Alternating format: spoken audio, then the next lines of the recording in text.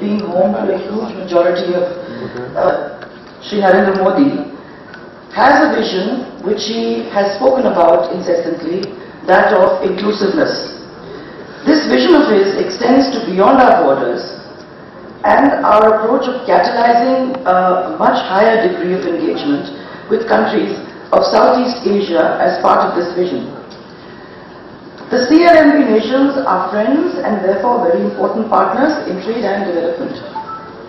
It is vital that we engage just as I would say in the manner that friends do. And we need to look for solutions that assure a better future for the residents of our countries. So I really wouldn't be wrong to mention that the challenges that we face, that you face, are shared by us. Large populations, many of whom are youth, the requirement for eco schemes and programs that are targeted towards having an appropriate policy framework. The quick development of infrastructure and the uh, necessity and the willingness to nurture partnerships with private businesses so that investment is generated as this is where our livelihood opportunities lie. In Rajasthan one can see how successful partnerships are changing our lives.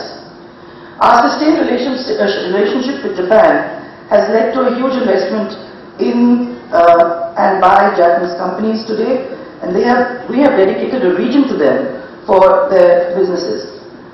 We have also engaged from the heart with uh, Singapore and as a result one of the finest centers for hospitality is coming up now in Udaipur. this of course is a partnership which is very dear to us and we've been working on uh, with, between ITE, Singapore and us.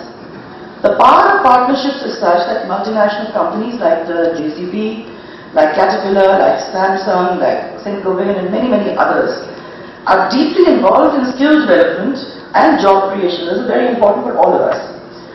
And Rajasthan welcomes with open hearts any investment queries from the CMLV countries.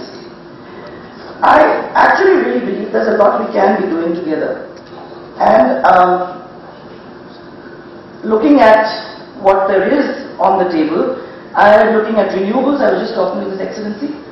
Renewables, uh, manufacturing, the areas of pharma, the areas of textiles, healthcare, and agri, fishery, and just now we were talking about uh, irrigation, drip irrigation, etc., as well as, as I just spoke to you about skill development.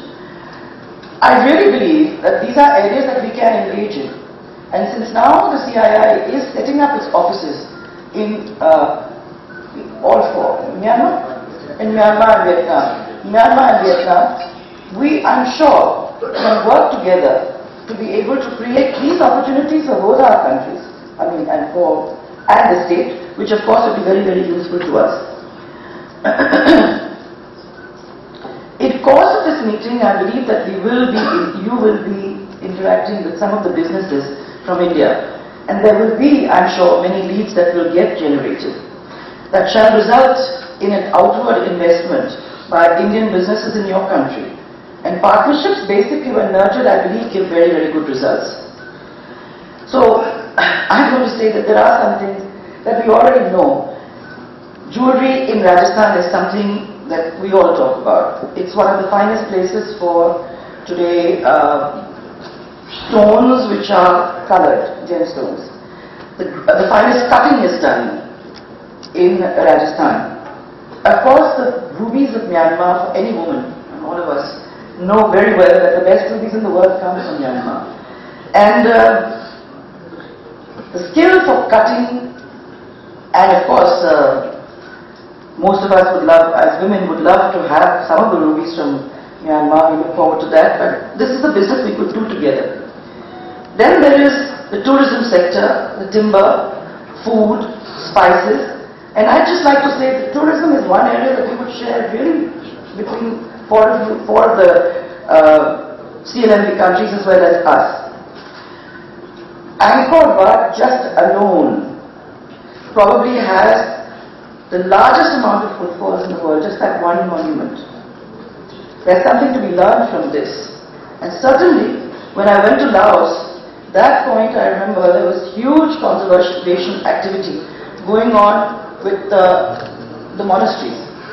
Some of the most beautiful work that I saw was being done at that particular point in time there. Apart from the stones, uh, we are looking at jade, or we're looking at rubies, or we're looking at sapphires from Laos. There is so many more things. Heritage sites like the La Hong Bay carried so successfully in Vietnam. And we in Southeast Asia share a love of food, some of the best spices, some of the best eating in all of our countries.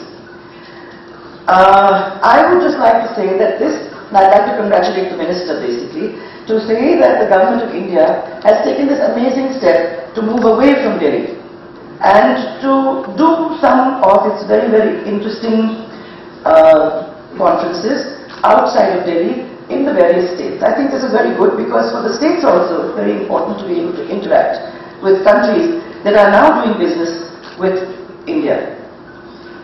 I would like to congratulate at that time also the Prime Minister Atal Bihari Vajpayee who had thought of this idea and who thought that since India is such a huge and vast country, it's very important to actually engage with other countries, keeping the states on board.